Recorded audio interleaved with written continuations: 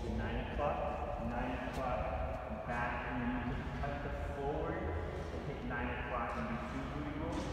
Um, you can take maybe a bigger step and do a big booty roll if you want to, um, but then you also have doing clockwise. So I will go now right to back left, right, and tap, and I can also add